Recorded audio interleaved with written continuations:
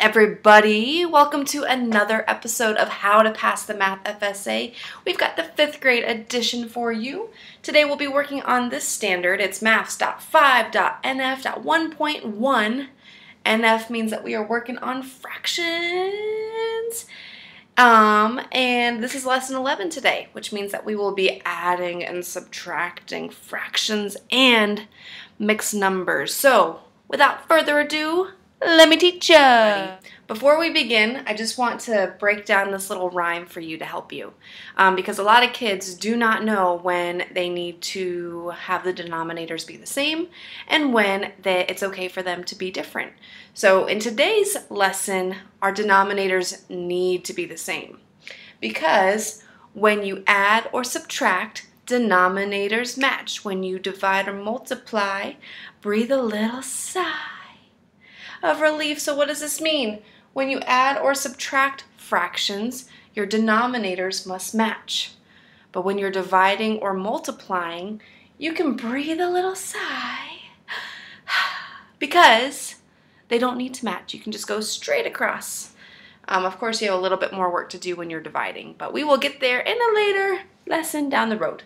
So once again, when you add or subtract, denominators match. When you divide or multiply, breathe a little sigh. Got it? Good. Let's go to example one. It says, what is the value, that means the amount, of the expression? So we need to solve this expression right here. Um, and what is an expression? An expression does not have an equal sign. That's the difference between an expression and an equation. So here we go. We are adding two fractions, actually two mixed numbers because we have a whole number and a fraction and a whole number and a fraction. So when they're mixed up like that with the whole numbers and the fractions, they are called mixed numbers.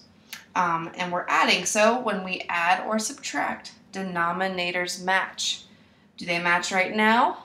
No way, we need to make them match. So here's what I do. Okay, I'm to get my fractions going first. So I know that 4 and 8, a common denominator that they have would be 8 and 8. Okay? Did I do anything to get to this 8? No, so I'm going to keep my 3 and 3 eighths, bring all that down. Now to get from 4 to 8, I had to multiply by 2. When I multiply the denominator by 2, I also need to multiply my numerator. So 1 times 2 is 2. So 6 and 1 fourth is equivalent or equal to 6 and 2 eighths. Kind of looks like 62 eighths, and that's not what I intended. That's a little bit better.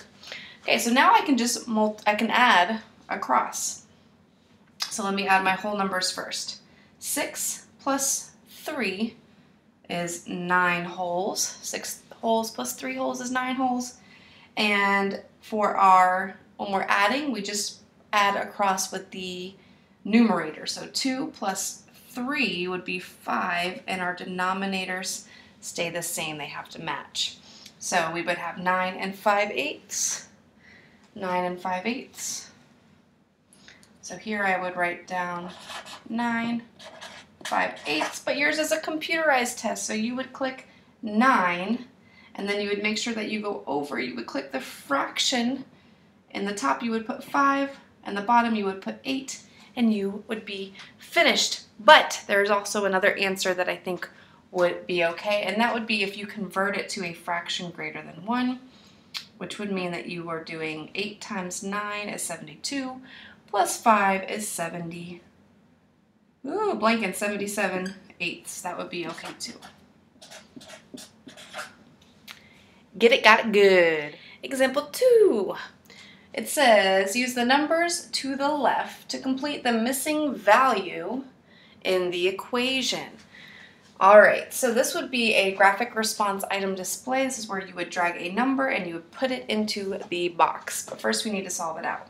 So I have 6 twelfths minus 1, I don't know, equals 1 fourth. Okay, so this is a very typical FSA type of problem. I've seen a lot where they're missing numbers and you have to be able to plug it in. So um, So first we need to make sure we are subtracting here, which means that my denominators must match. When you add or subtract, denominators match. So right now, these two denominators do not match. I'm going to make sure that they do. And I know that 4 times 3 is 12, so that would give me a matching denominator. So I'm going to bring all this down. I don't know what that is still. And this would be 12. Now, to get from 4 to 12, I said that I multiplied by 3. What I do on the bottom, I also have to do in the numerator on the top. 1 times 3 is 3.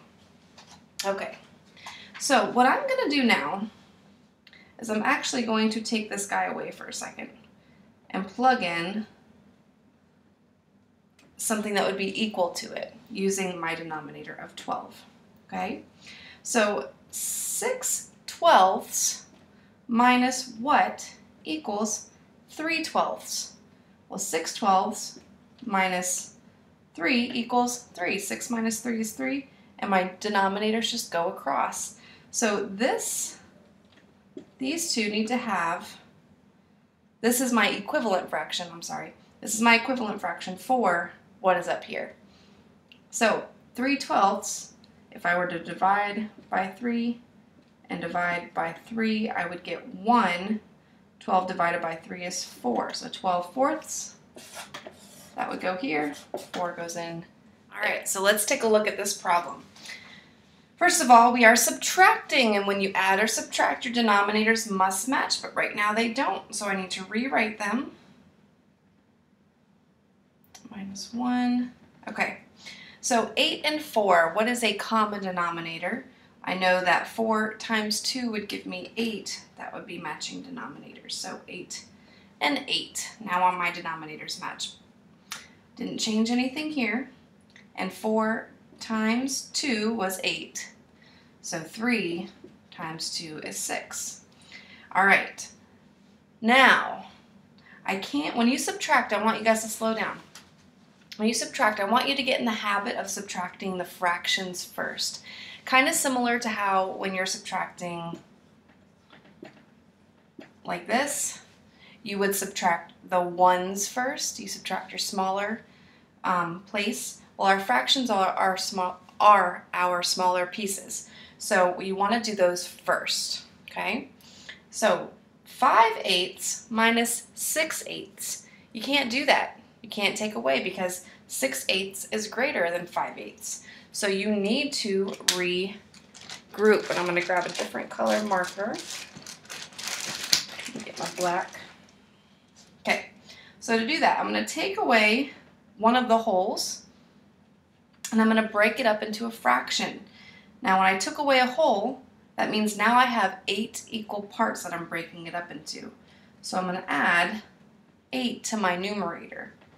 So now let me rewrite my fraction. That would be 2. 5 plus 3 is 13 eighths. 2 and 13 eighths minus 1 and 6 eighths. Now I can subtract my fractions. So 13 eighths minus 6 eighths would be 7 eighths. And 2 minus 1 whole is 1 and 7 eighths, which would be B, but it also says to select all the values that are equivalent to this. So the other one would be if I converted this to an improper fraction or a fraction greater than 1. 8 times 1 is 8 plus 7 is 15, so 15 eighths would be my other answer. All right, so we're on our last one. It's example 4, and we have another missing number problem. It says, what's the missing number in the following equation? So I've written the equation down here. Um, it's an equation because it has an equal sign and I am adding fractions that do not have the same denominator, but my denominators must match. Okay, so what I need to do is rewrite this with all my denominators matching. Okay. Now I notice that over here my sum has the denominator of 35. And I know that 7 times 5 is 35, so I'm going to go ahead and just make my denominator 35 for all of them. Okay, so 5 times 7 equals 35. So same thing in the numerator. 1 times 7 is 7. And 7 times 5 equals 35. So I need to figure out what this is. Okay, oops. This can just come down because it was already 35. All right, so now, here is what I'm going to do. 4 plus 2 wholes equals 6. And notice this time I started with the whole numbers. Um, that's because I'm adding and it's okay. Okay, equals 6. What numerator plus 7 equals 17? Well, 10 plus 7 equals 17, and my denominators just go all the way across. So what belongs in here? It's 10, but that's not an answer choice, and that's because the original thing was over with a denominator of 7. So if I multiply 7 times 5 to get 35, what would I multiply by 5 to get 10? And that would be 2. So 2 should have gone in the box. Another way to do that would have been to take this and to divide by 5 and divide by 5 to get 2 and 2 sevenths. All right, before we close up this episode, I have some motivational words for you. Actually, a challenge for you today. Okay? Your life will start to change for the better when you stop whining about stuff and start working. Stop complaining that stuff is hard and start working at it. Start putting forth effort into it. That goes for everybody students, teachers, parents, whoever is watching this. You will start to become more successful and your life will start to be more fulfilling when you stop whining about stuff and start doing something about it. Okay? All right. So I challenge you to do that. How about one week? For one week, don't whine, don't complain. And I bet awesome things will come your way.